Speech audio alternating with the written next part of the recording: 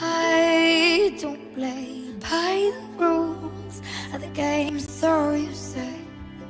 I'm just trying to.